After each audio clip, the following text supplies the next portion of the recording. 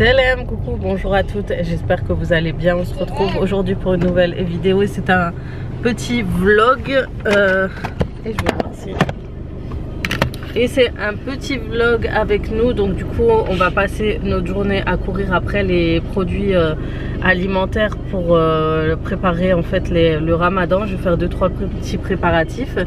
Et voilà. Donc là on va partir à Auchan et à Auchan je vais pas faire vraiment des courses parce qu'il faut aussi que je fasse les courses de la semaine et mais chez Auchan je vais juste prendre ce qu'il faut et ensuite je vais aller faire les courses de la semaine soit peut-être à Lidl ou on verra en tout cas, je vous emmène avec moi et puis on, vous allez découvrir cette, où on va faire les courses.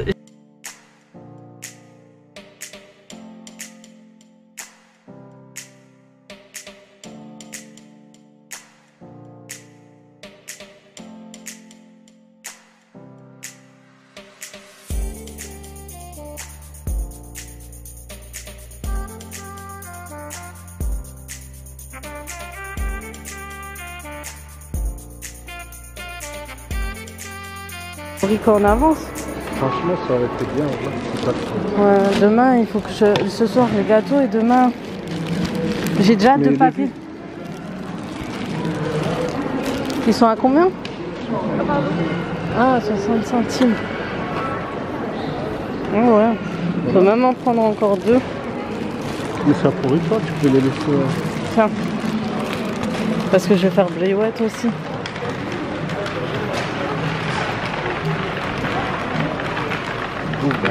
Oh, Bobet, c'est trop bon. Qu'est-ce qu'il y a Reste à côté de papa. Parce que j'avais pas tout On va pas commencer à s'énerver, là, je vais t'en mettre une ventile. D'accord. Ce moule, j'avais déjà pris. Une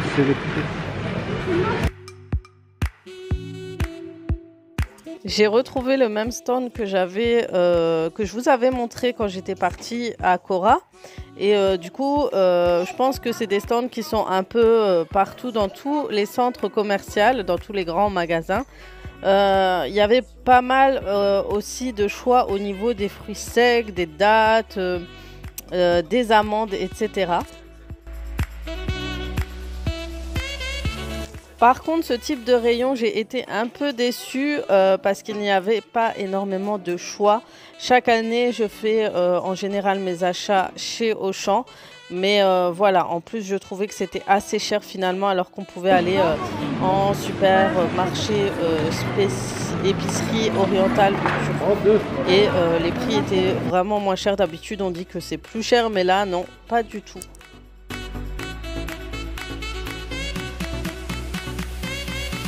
Et pour ce qui est la vaisselle, c'est un peu toujours la même chose qu'on retrouve aussi chaque année. C'est un peu les clichés un peu oriental, le fameux tagine avec les dessins, etc. Après, euh, je pense tout ce qui a été un peu plus joli est parti parce que c'est tout ce qui restait au final. Et, euh, et voilà.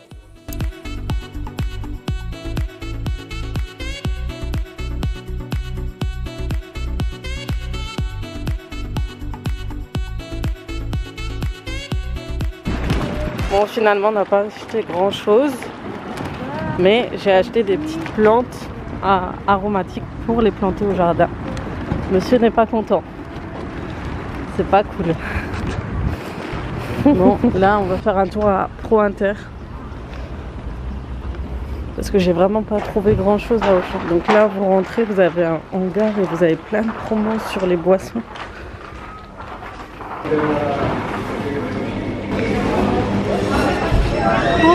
les courses euh, chez euh, Grand, euh, chez Pro Inter.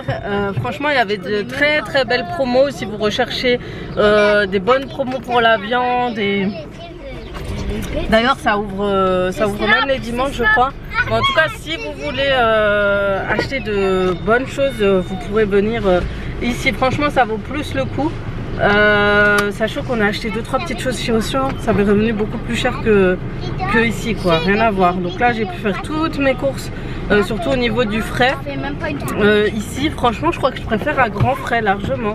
Il y avait beaucoup plus de choix. donc on a tout acheté et tout ça, je vous montrerai quand je vais tout ranger de toute façon.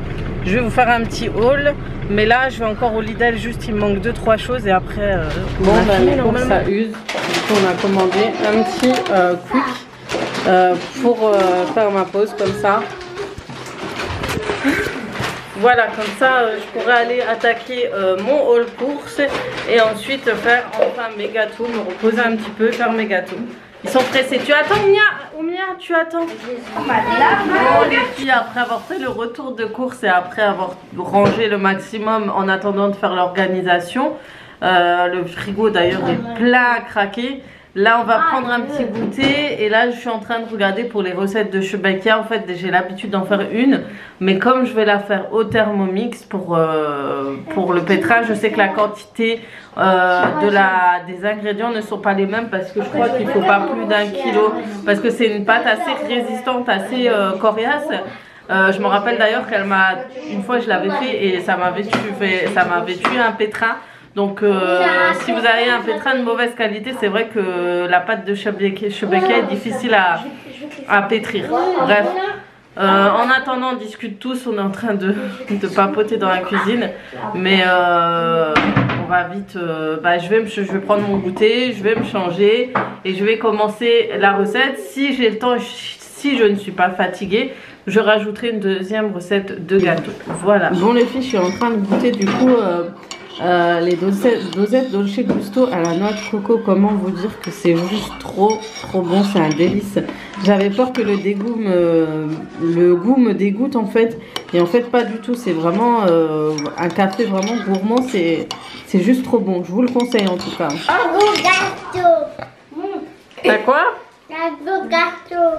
Tu veux manger un grand gâteau? Ouais. Non, c'est bon. Euh, On va faire des petits gâteaux. Non, un gâteau encore. Avec une bougie. Allez, mange, mange. Après, les cheveux de ce genre de fou. Et après, on va me donner un cadeau. Et après...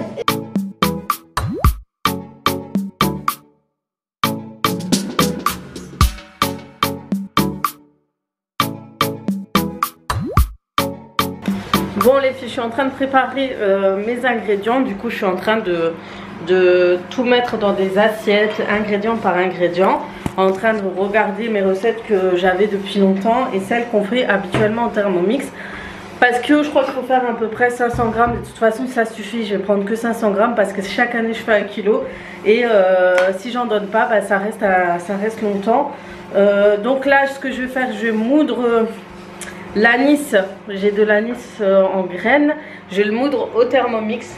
Vous allez voir, c'est très très très bien, ça mixe trop bien en fait. Euh, c'est toujours vitesse 10 de euh, pendant une minute, un truc comme ça. Je vais vous montrer ça.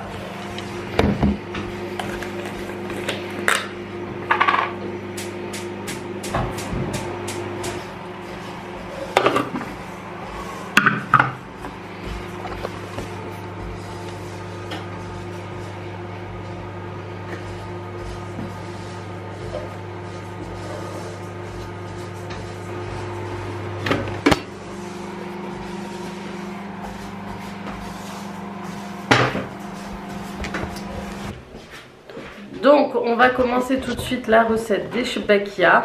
Euh, pour cette recette, euh, vous aurez tous les ingrédients juste ici.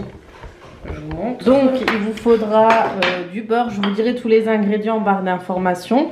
Il vous faudra de la cannelle, de l'anis en poudre, donc, donc que j'ai mixé juste avant.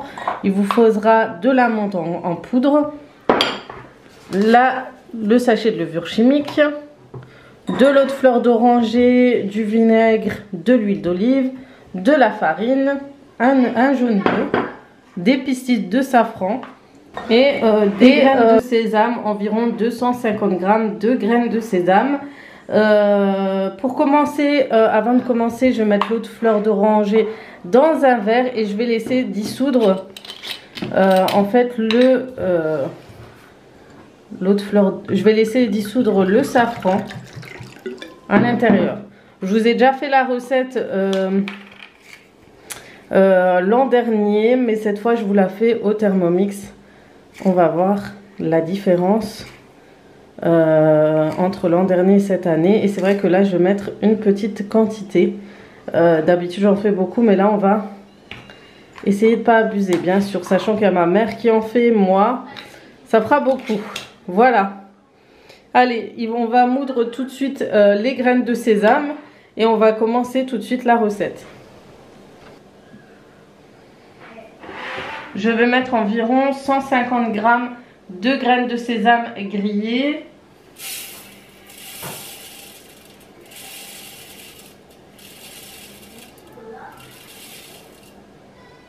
Voire même 120, ça devrait suffire.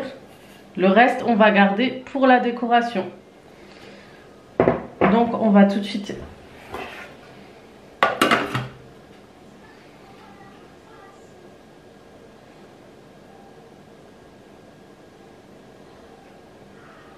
mixer pendant 15 secondes.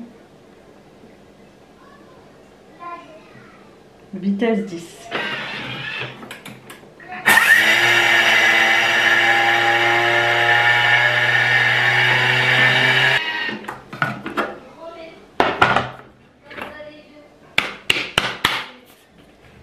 Donc voilà, je vais les réserver dans un bol. Donc le beurre a bien fondu. Maintenant, on va rajouter le reste des ingrédients. Donc on va mettre l'huile. Donc moi je vais mettre le mode pesé, balance. Et en général vous mettez environ 30 à 35 grammes euh, d'huile.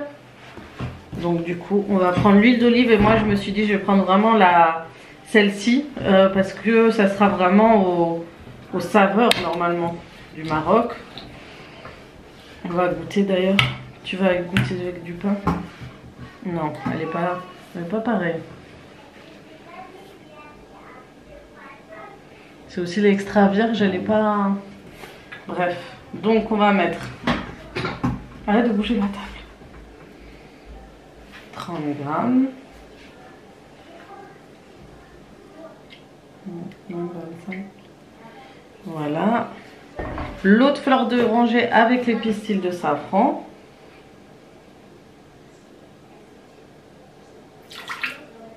Pour la conservation.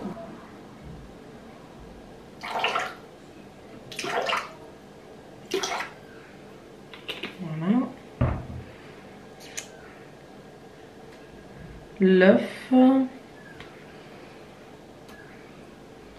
l'anis et euh, la cannelle.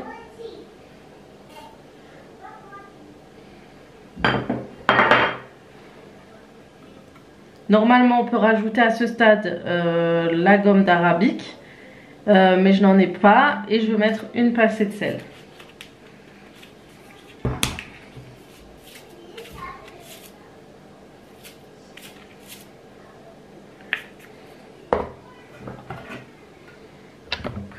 vous montre comment c'est à l'intérieur. Ensuite, pendant 20 secondes, je vais mélanger tous les ingrédients.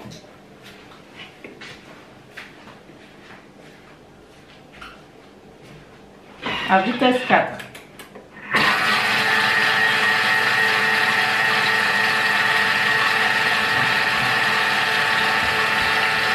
Donc maintenant que le mélange a été fait, je vous montre. Voilà, tout est bien mélangé, tous les liquides sont mélangés. Je vais rajouter 500 euh, g de farine environ. Donc moi je vais rajouter quand même un peu plus parce que je sais que j'ai un peu de passé en liquide. Et euh, je vais rajouter aussi le sachet de levure chimique. Donc euh, on met en mode manuel, balance. Et on intègre la farine. Et je vais rajouter aussi les amandes.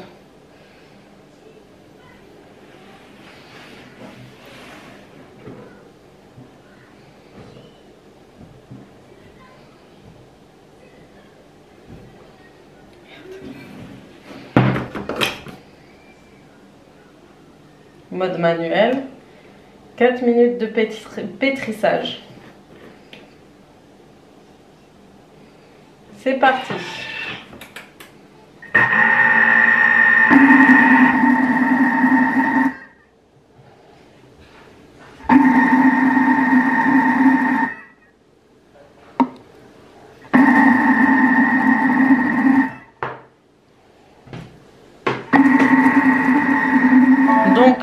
Euh, il a terminé les 4 minutes. Je regarde la consistance de, la pâte.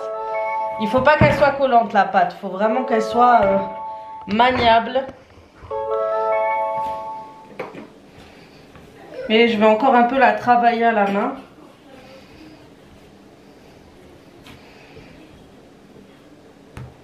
Vous voyez là, il y a encore de la pâte à l'intérieur de mon Thermomix. Là, c'est à ce stade-là que vous utilisez le mode turbo pour décoller.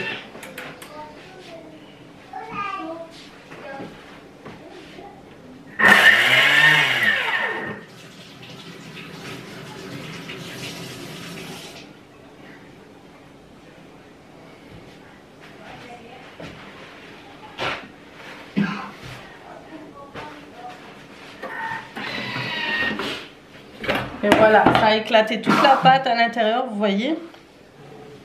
Elle est sortie des couteaux. Je vais la laver après. Donc en attendant, je m'occupe de ma pâte. Donne-moi un peu la farine. Je vais quand même bien la travailler. Il n'y a jamais mieux que le pétrissage à l'ancienne. Acceptable qui est de mauvaise qualité, mais ça laisse tomber.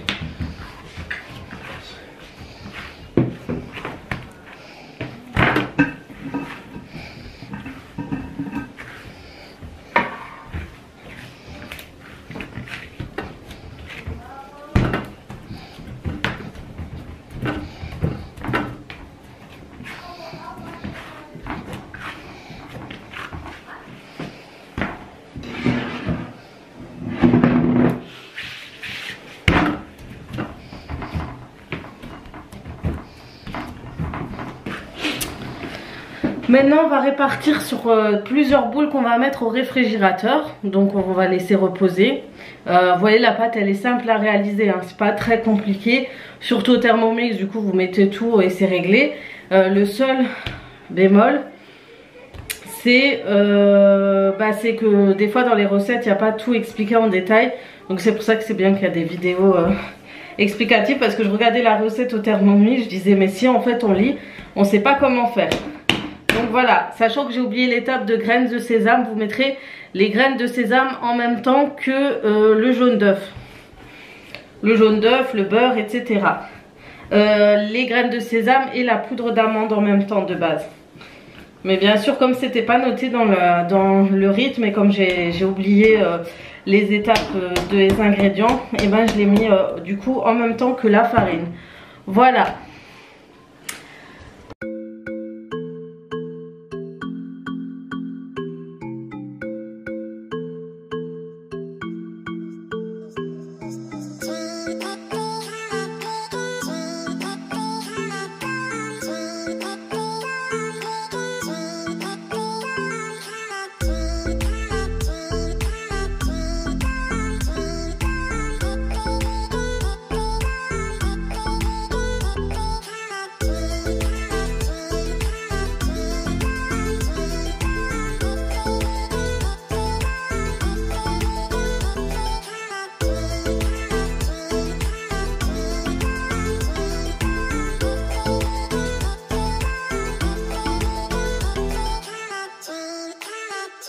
Je vais commencer à préparer euh, le miel euh, avant de, faire les, les les formes.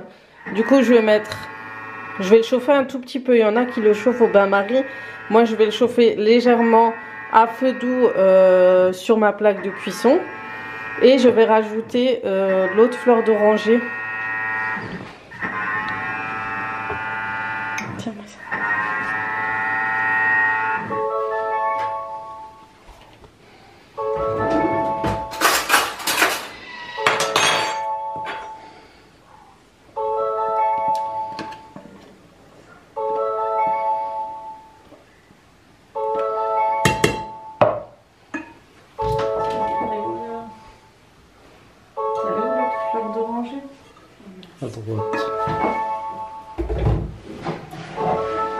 Donc je vais rajouter l'autre fleur d'oranger. Je vais rajouter euh, un peu moins de 2 cuillères à soupe. Hein.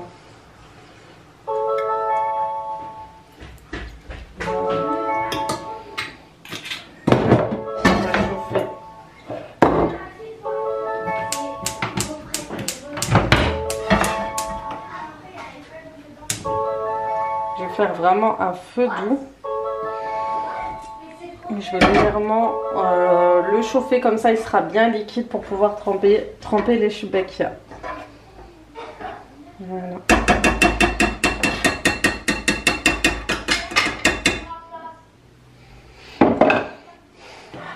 c'est bon. Maintenant les filles, je vais euh, étaler ma pâte pour pouvoir faire les Shubekia. Je vais l'étaler avec un rouleau à pâtissier, pâtissier et euh, ensuite je vais m'aider d'un, euh, on appelle ça comment? Je sais plus on appelle ça comment?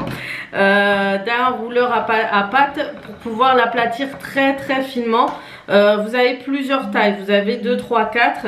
Il faut vraiment qu'elle soit très fine mais faire attention parce qu'elle se casse très très vite.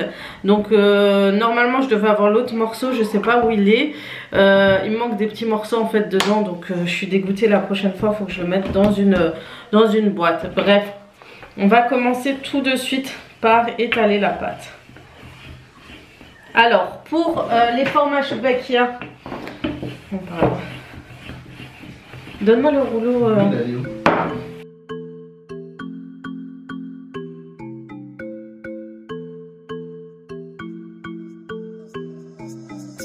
Pour ma machine pour faire les pâtes, en fait, il manque pas mal d'accessoires comme je vous l'ai expliqué. Du coup, c'est pour ça qu'elle bougeait un peu dans tous les sens et euh, que c'était vraiment difficile de, du coup de, travailler la pâte et de, la rendre plus fine. Mais euh, voilà, j'ai fait avec les moyens du bord, j'ai quand même réussi, euh, malgré que c'était très compliqué. Donc il fallait être à deux en fait finalement pour euh, faire cette pâte, pour étaler cette pâte.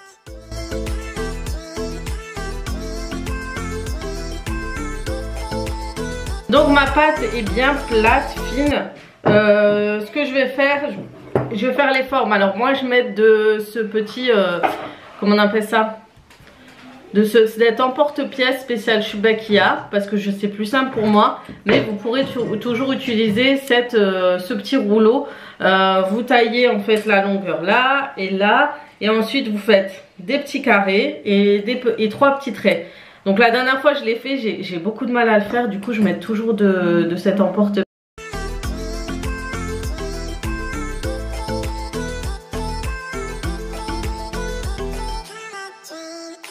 Et du coup, j'ai voulu vous montrer les deux techniques pour faire la forme des Shebekia. J'avais oublié combien de lignes on pouvait faire, mais c'est vrai qu'on peut faire 4 lignes au centre, euh, au centre du carré ou bien 3.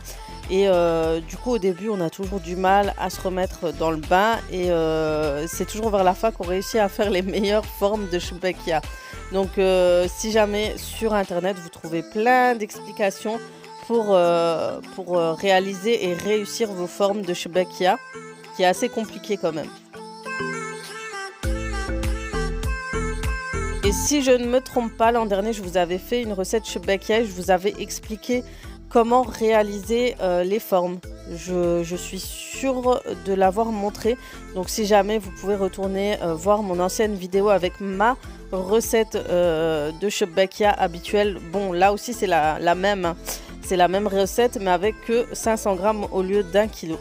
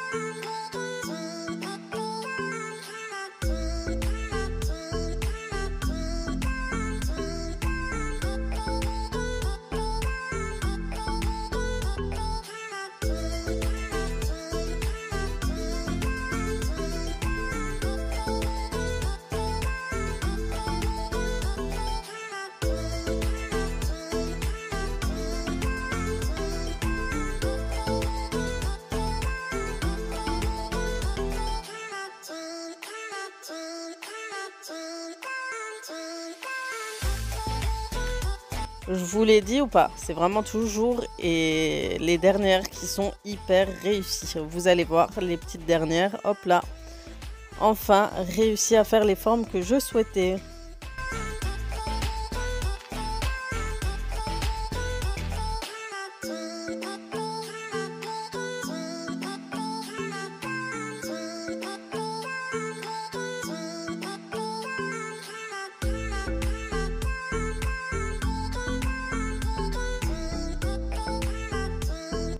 Pour faire cuire la c'est assez simple. Hein. Vous faites chauffer de l'huile.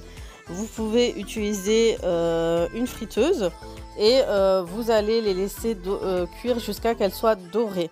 Donc il faut qu'elles soient bien dorées, ni trop foncées, ni trop claires non plus. Et une fois qu'elles sont bien, bien cuites, vous allez tout de suite les prendre et les tremper dans le miel, le mélange de miel aux fleurs d'oranger.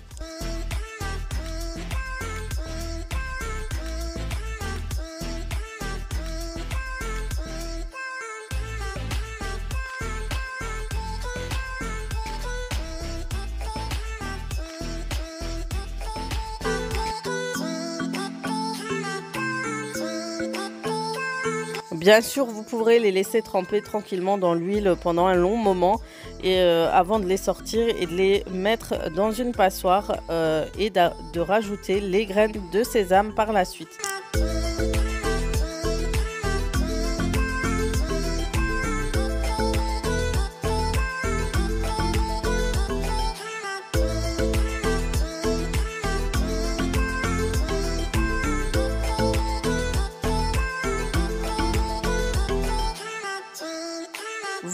Ensuite euh, les shubakia dans le passoire et vous parsemez euh, de graines de sésame et vous faites ainsi euh, chaque étape de la cuisson jusqu'à la fin.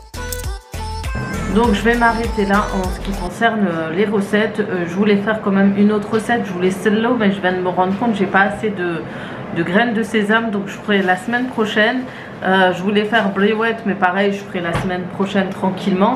Euh, comme ça euh, je ferai une recette par jour c'est beaucoup mieux que de s'épuiser. Parce que demain je vais essayer de faire la vidéo décoration de mon salon. J'ai beaucoup de choses à faire et à préparer aussi des repas. Donc ça va être une très très longue journée donc faut se lever tôt. On a deux meubles à monter.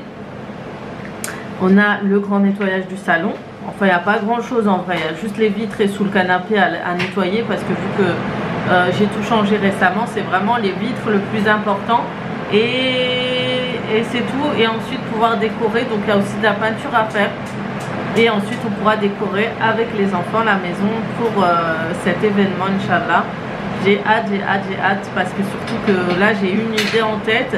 Euh, et j'espère que ça sera, ça sera joli, quoi. Bref, on termine la cuisson de, tous ces... Euh, et voilà, qui a terminé. Du coup, euh, je les ai posés dans l'assiette pour le temps de les, de les laisser se reposer. Et euh, là, je suis en train de terminer, je suis en train de faire mon ménage. Et je vous montre vite fait, du coup, les pastilles là, Ferry, là, de la marque Ferry. Du coup, elles sont vraiment bien, les filles, si vous pouvez les acheter maintenant. Parce que comme ils sont en promotion un peu partout, euh, dû à leur sortie parce qu'ils n'étaient pas encore vendus en France. Et eh ben euh, profitez-en parce que de base ça coûte je crois plus de 12 euros le paquet, voire un peu plus. Là vous avez des promotions, ça va entre 5 à 4 euros, donc profitez-en pour les acheter. Parce que comme je vous ai dit, franchement sur Instagram, je vois juste mes verres, comment ils sont brillants, comment mes plats à l'enfour, quand je les ressors euh, et qui sont carrément dans un sale état, bah, ils sont totalement dégraissés et qui rebrillent à nouveau. Franchement, si vous pouvez absolument les acheter, je peux que vous les conseiller à 1000%. En plus, regardez, ils disent euh, prélavage inutile, efficace en cycle éco. Ce que je vous avais dit, franchement, je mets en éco et il est très très efficace. Euh, fabriqué avec de l'électricité 100% renouvelable. Donc euh, action dégraissant, brillance, fonction sel et rinçage, détachant, surpuissant. Nettoyage en machine, technologie anti-terne et brillance adaptée au cycle court. Voilà, moi je vous dis, euh, je vous le recommande à 1000%. Je viens de goûter mes... Euh, je viens de goûter mes Shebekia, ils sont vraiment trop trop bonnes. Franchement, ils sont, ils sont pas mal, ils sont tendres, ils sont... J'aime bien quand il y a un mélange en fait de, de moelleux et de croustillant. Et euh, c'est ça que, je, voulais, euh, je voulais comme résultat. Du coup voilà, je suis vraiment contente. Du coup enfin fini. On va essayer de se reposer. Et ensuite on va, on va s'attaquer euh, demain à tout ce qu'il y a à faire. encore beaucoup de choses à faire. Ça va être speed, j'aime pas quand c'est speed comme ça. Il m'aurait fallu encore 2-3 jours en plus. Voilà, en tout cas je vais clôturer sur ce vlog. En espérant qu'il vous aura plu. Je vous souhaite une très très bonne fin de une bonne journée hein. pour vous ça sera la journée. Bonne préparatif de ramadan à vous. Et je vous dis à très très vite pour d'autres vidéos comme d'habitude. Ciao ciao